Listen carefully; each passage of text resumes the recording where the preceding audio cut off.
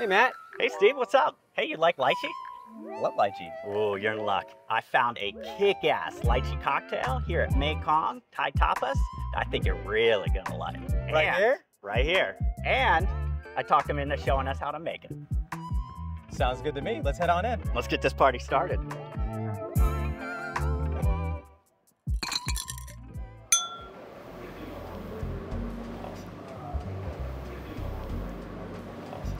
This is the guy? This is Thomas. How you doing, Thomas? Good. Thanks for having us. Yeah. So this is your famous lychee cocktail. Yep, We got you you. say. Cheers. Cheers. Ooh, Right. that's pretty intense. Oh, the floral notes on it. Yeah, I definitely got that floral tones and it's got a nice sweet richness to it. You, you got to show us, how do you make this cocktail? So um, to start with these uh, lychee with vodka. So first off, you got the hibiscus flower that you infuse it in vodka. I can show you how, but it's gonna take a while. But I'll show you the uh, the bottle here. Any any your favorite vodka with a bunch of the, the flour. Sit for a couple hours uh, and you refrigerate it. So it only takes a few hours. It's in room temperatures. And you store it. And the end products look like this.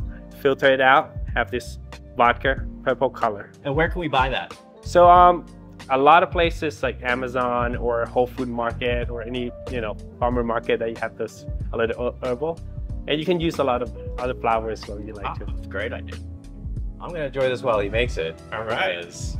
I'm gonna need another one once this one's done. So you got two ounce of uh, vodka, which is the uh, uh, butterfly pea vodka. Wow, it's a beautiful blue uh, color it gives it. Yeah. You got the uh, two ounce of lychee, lychee puree. Uh, you can use uh, canned lychee puree it up, blend it all down, get this a little smooth textures. Now is that filtered or is it Nope. you just put it Get a pulp in there. you just put it in a blender and Yep. all right. Yeah, a little pulp, a little texture in your cocktails. And one ounce of the uh, simple syrup. And the essential part of this cocktail also fresh lime juice. Without fresh lime juice, your drink will be blue without not purple. Interesting. That actually changes the color Right. uh, to purple. Yep. I mean, that does make sense. Yeah. This is still bluish. But when you have this a little lime juice in there, You can definitely taste that fresh lime in there. Yeah, that's the Oh, first thing I think okay. I noticed was that hit of lime, and then the sweetness came after. and you whip shake it.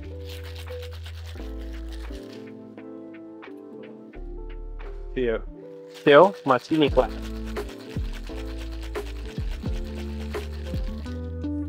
Now this uh, this is a daiquiri glass. Is this your preferred method? Martini glass is preferred. You can serve on the rocks. Have prefer uh, people prefer it on the rocks as well, but I do like it straight up. I like it straight up too. Yeah. You can double strain it, but uh, I like a little pulp in that drinks. Get a little texture to it. Yeah. Now what do we garnish it with? So uh, typically on the lychee martini we have lychee fruit, which is the uh, oops, the Nice catch. Who knew you were part ninja? lychee fruit that you could use uh, a little garnish on that. You can do flower, tropical drinks with tropical flower. What do you like to serve this drink with? So in Thai cuisine, these are a little on the sweeter side of cocktail. You can go with a little bit of spicy dishes like drunken noodle, or even a little pad thai that has a little spicy hint to it. We do serve here as a little spicy pad thai to go very well with this as well. I could only imagine how delicious that would be. Yes. Well, Thomas, you have done an amazing job making this kick-ass cocktail here. What do you think, Steve? I I love it. I definitely think that it's unique. I love the the texture in it because it it, it doesn't look like a martini, right? For sure. But it, it feels like something you'd have in Hawaii, Yeah. paradise style drink. Oh man, and this is so dangerous. It is so smooth. Like, yeah, Yes. you definitely have to set a limit to probably two at the most of these, because I could definitely take yeah, taste the alcohol in it. Well, Alright. awesome. Well, thank you so much, Thomas. Yes. this is for coming in, guys. amazing. Yeah, and uh, where can people find you if they want to have this drink? So we're located in the uh, Mesa Grand Shopping Center uh, off the uh, 60 Stapley Drive. Uh, we call Mae-Khong Thai Tapas and Bar. It's a variety of the uh, Thai food with cocktail. Awesome. Great. It's a beautiful place you have here. Thank, Thank you, you. Thomas. Yes, thank you so much.